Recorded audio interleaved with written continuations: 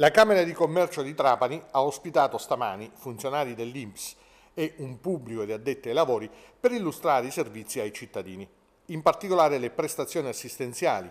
quelle richieste in massima parte da cittadini che spesso non hanno gli strumenti per interfacciarsi con il portale INPS o anche con gli uffici. L'Inps non ha nascosto che ci sono ancora molteplici criticità anche nelle relazioni con le imprese, i consulenti di lavoro, i patronati, anche per i diversi sistemi di inserimento dei dati, delle pratiche, delle informazioni richieste per l'erogazione di prestazioni e servizi.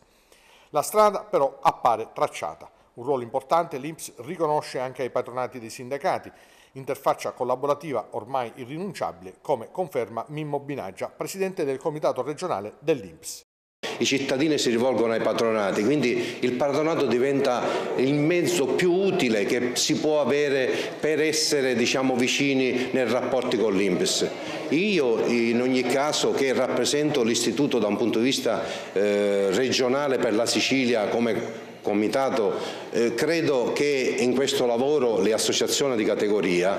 eh, e il rapporto che c'è fra i patronati e l'istituto abbia ulteriormente, con i protocolli che si sono fatti, ulteriormente agevolato questa possibilità. Quindi oggi ci sono pratiche snelle, veloci, rapidi nei tempi, per cui i cittadini una volta che si rivolgono ai patronati credo che abbiano delle risposte nell'immediatezza e quindi questa eh, sinergia che c'è fra l'istituto e i patronati credo che sia fondamentale.